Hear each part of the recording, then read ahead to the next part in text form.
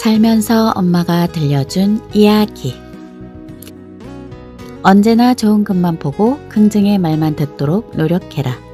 사람은 어떤 것을 마음에 담느냐에 따라 세상을 다르게 보게 된다.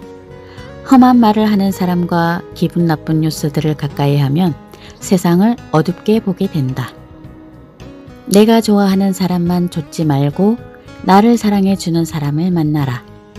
만약 그런 사람을 만난다면 고맙고 귀하게 여겨라. 내가 어떻게 하느냐에 따라 그 사람도 달라질 수 있다는 것을 명심해라. 무기를 지니고 다니지 마라. 아무리 화가 나도 무기가 없으면 참고 넘어갈 수 있지만 무기를 지니면 그것을 사용하게 된다. 남들이 하는 기분 좋은 소리는 흘려들으라. 사람들은 내 기분을 맞춰 이용하기 위해 듣기 좋은 소리를 하기도 한다. 그 말에 우쭐할 필요도 없고 장단 맞춰 흔들리지 마라. 나를 가장 잘 아는 건 나 자신이다. 열 가지 재주를 가진 사람이 끼니를 걱정하며 사는 법이다. 많은 것을 하려고 하기보다 내가 좋아하는 일을 오래도록 하면서 살아라. 나머지는 취미로 하면 된다.